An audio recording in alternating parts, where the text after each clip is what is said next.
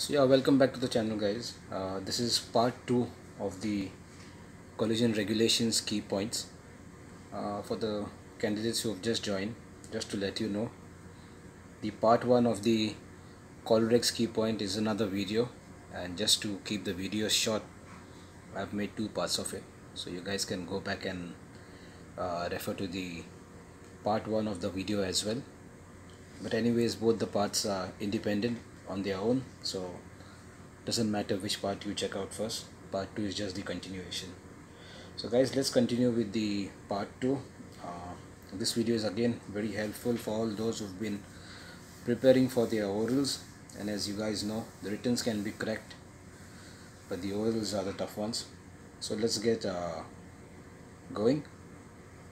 Okay the rule of the road MFPs as I mentioned in the last video most favorite points for the surveyors so again let me continue.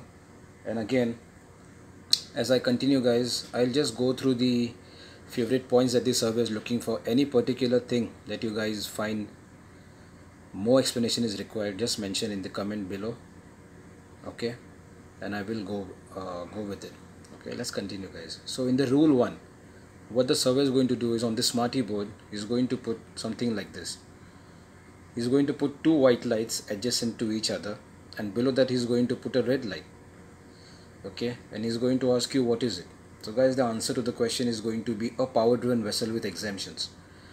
Now how does this relate to? So for this you will have to go to the rule 1 of the collision regulations. I've made that for you as well. Let me just show you. Okay rule 1 here you go. So nothing in these rules shall interfere with the operations of any special rules okay? Basically what the rule says that in if at all you guys are making any exemptions for the vessels the lights that you display should be in the close compliance. Where does it say? Over here. Okay. Lights and shapes as well as to the disposition and the characteristics of sound signaling appliances as a government shall have determined to be the closest possible compliance with these rules in respect of the vessel. So there might be uh, vessels with exemptions like say for example fishing vessels sailing in a fleet. There are about 10 fishing vessels going together or if you have guys if you guys have sailed towards China and stuff like that you will see there are many barges being towed one after the other been pushed one after the other. So what lights and you know what exemptions do they get? Say for example there was a huge container vessel uh, where they think that the disposition of the lights is supposed to be made in a particular way. So again that is exemption. So no matter what exemption you guys take the disposition of the lights as per the rules have are supposed to be in the close compliance for the requirement. This is what it says for the number one. If you guys need any more explanation do let me know I'll make a separate video on that or I'll answer to you guys in the comment section. Moving on. Can a sailing vessel be a vessel constrained by draft? The answer is no. Moving on to the next question. Explain rule 2 in your own words. Guys for this particular one I will be making a video on rule 2 where I'll go through all the important points and I'll exactly let you know how to explain your rule 2 in your own words okay? So that video is coming up shortly guys okay. Restricted ability to maneuver and a not under command. The survey will throw into you a particular question especially this is going on in uh, mostly in Glasgow or in South Shields. You know they are saying who is the give-way vessel? Again the give-way vessel is going to be the vessel restricted in ability to maneuver. Now you'll ask me why? Because it is in relation to the nature of the work that she is doing. A vessel restricted in ability to maneuver can easily stop herself okay? But what about a vessel not under command? Okay guys again if you guys have any particular uh, questions related to a particular scenario do let me know. But as I said this video is going to be a short one and just going to go through the most favorite points that this surveyor is looking for okay? So moving on. A vessel not under command okay? Any emergency like sinking collision fire steering failure but not main engine failure. Again a favorite one guys. We will just throw in a question to you saying you guys were making way through water okay navigating and suddenly your engines fail. So do you at this moment become a vessel not under command? Again guys this is a tricky one. Don't get confused with this. You have still got speed that means you have your steerage.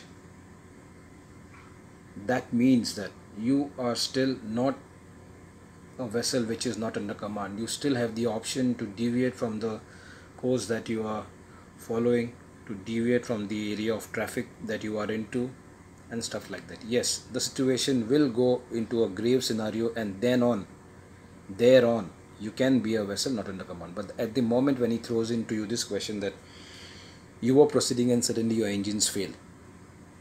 Do you become not under command? And the answer is no. We do not become not under command at that moment. Okay? Now for the disposition of the shapes uh, especially in relation to your vessel constrained by draft for a cylinder they are asking you at the Glasgow MCA whether it is a funnel or whether it is a cylinder that you guys are going to display. So again moving on a typical favorite question of the MCA two vessels constrained by draft in narrow channel crossing each other. Okay. What is the answer that you give them? Again check for the priority channel as per the local regulations. Where will you find this on your ECDIS on your charts? It will mention which is the priority channel. If there are any local regulations you will again find them in the local uh, sailing directions that which uh, channel takes priority over the other. Again rule number 15 also applies. Starboard one maintains the course and speed. Moving on. In the restricted visibility one vessel is at the bend where you can't see her. Rule number 19 applies.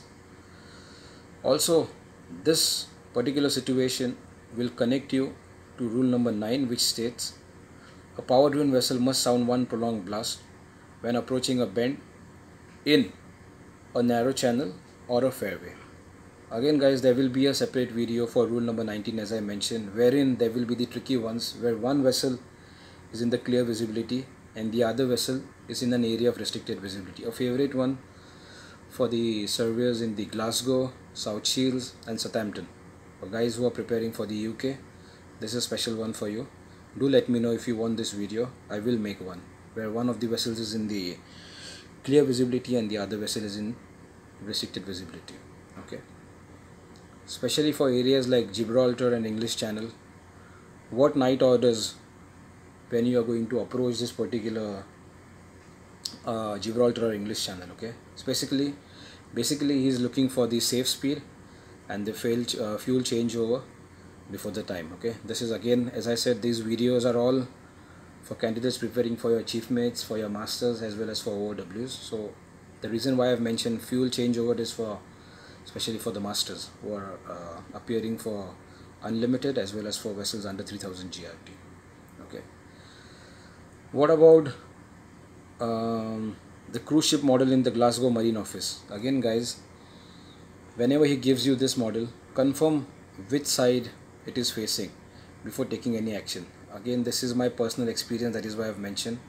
In the Glasgow Marine Office you will find uh, the model of a passenger ship with the ends similar. So you really do not know which way she is heading to.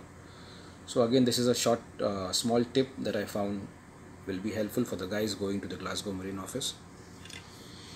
Okay again moving on. A vessel constrained by draft head on can you go to port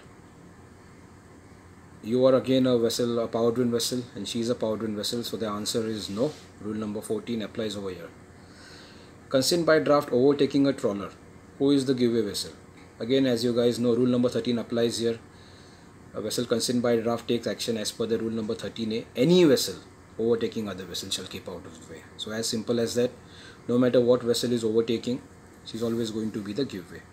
A fishing vessel overtaking a sailing vessel, who keeps clear? Again, same explanation guys. The, uh, the fishing vessel keeps clear as she is overtaking. You are in a power driven vessel and the not under command is overtaking you.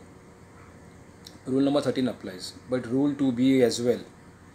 Again guys, as I said, the rule number 2 will be explained separately so if you guys don't answer this particular answer that I've given over here you guys can still uh, let me know it will be clarified to you in the rule number two video which I will be making. Because it is a very important rule.